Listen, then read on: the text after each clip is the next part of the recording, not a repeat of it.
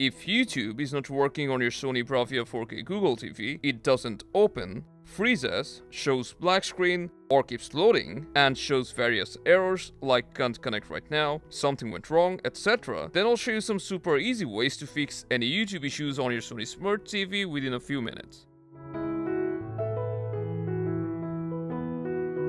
The first and most effective way to fix any YouTube app issues is cold booting your TV.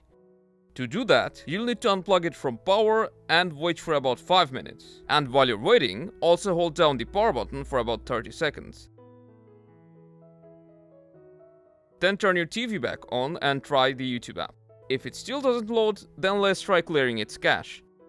To do that, hold down the home button to open the quick panel, then select all settings.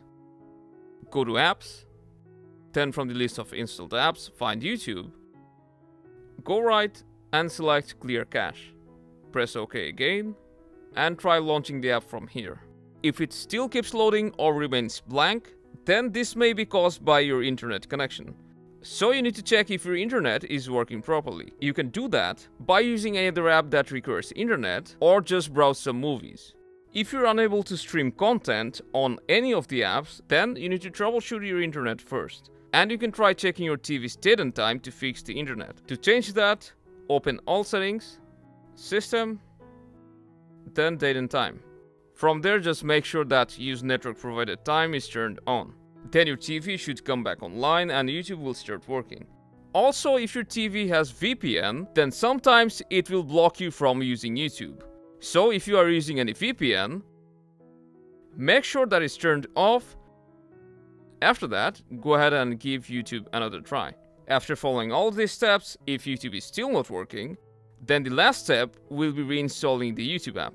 So, highlight the YouTube app, long press on the OK button, select View Details, and then select Uninstall. Then update it once again, which will reinstall the app. After this, your YouTube app will start working normally. And that's how you can troubleshoot your Sony Smart TV's YouTube app. If this helped, give us a like, get subscribed, and happy watching.